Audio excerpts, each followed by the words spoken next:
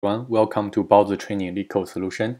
If you want the best mock interview experience in North America, please feel free to check us out at baozitraining.org. And also, if you would like to receive constant updates regarding technical interviews and all sorts of other things, um, please feel free to subscribe our WeChat here, and uh, you won't regret it. All right, so today we're going to talk about this problem, um, permutations. So this is a very uh, classic or typical problem for recursion using DFS. So uh, basically giving you an array so um, of numbers with all possible permutations. So in this case, um, LeetCode makes an assumption that all those numbers will be unique. But in real life interviews, uh, it's always better to ask your interviewers whether there's, there's going to be duplicate element or not. So because here uh, everything is unique, so all you need to do is basically um, keep recursion, and you uh, you will need uh, to uh, in order to avoid duplicate, you want to basically keep uh, a track of whether this element has already been added to the solution or not. If this is added, you want to skip it, or else you just uh, add it. All right. Um, so for time complexity, because you list, you we all know permutations is uh, n factorial, uh, that would basically be the time complexity. And in order to print out all the uh, uh, store all the results, so the space complexity is also uh, O n factorial. Um, because if we were using this list, this list will takes extra O n space, but because your final solution is still bounded to n factorial, so the time complexity is still O n factorial. Okay, so let's code this up real quick. Some validation.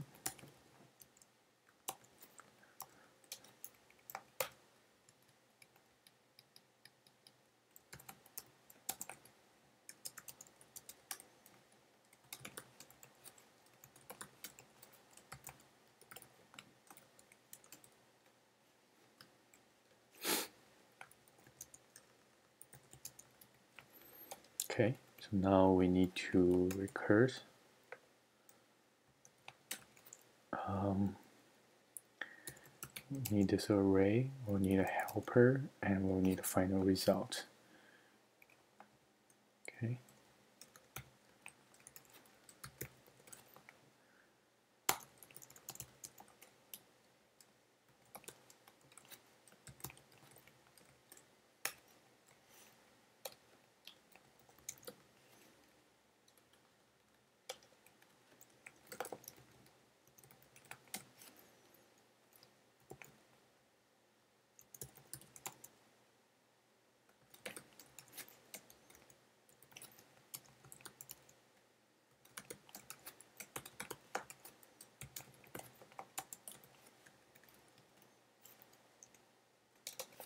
So here, whenever you write recursion, you need to know, you want to know your returning uh, conditions, which is when the length equals to my list size, and you want to make a deep copy about this list.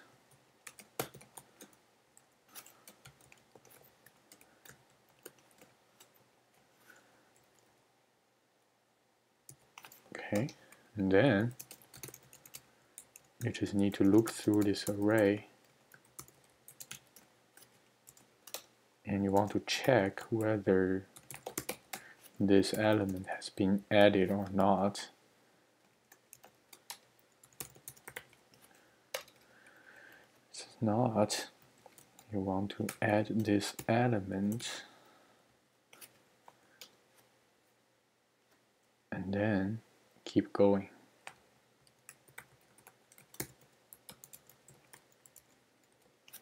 And then after that, you remove the already added element. Okay, so let's take a look.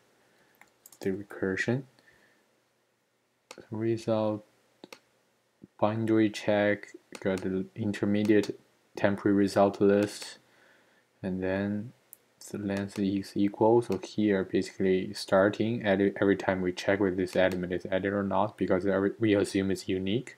So if it's not added, keep recursion, and after recursion, we pop out the last element. Okay, let's see.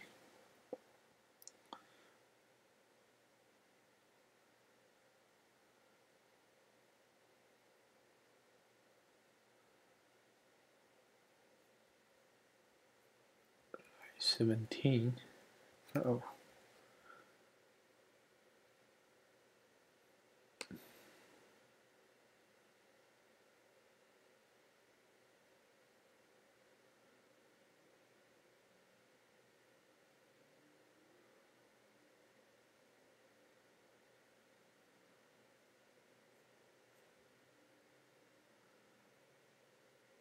list.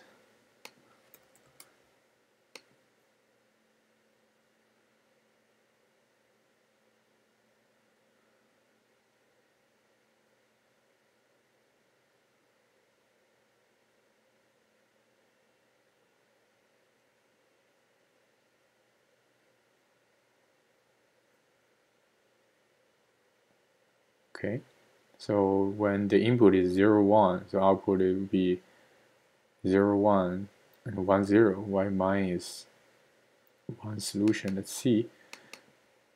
Goes to size, add this.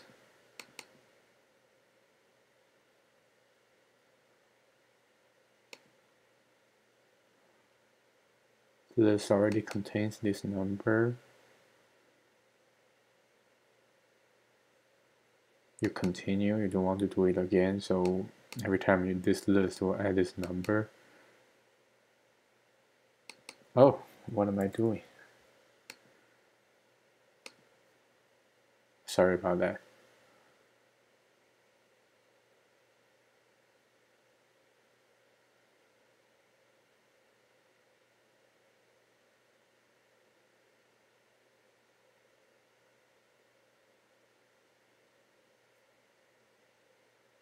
Okay, so basically the uh, again the time and the space complexity is O n factorial.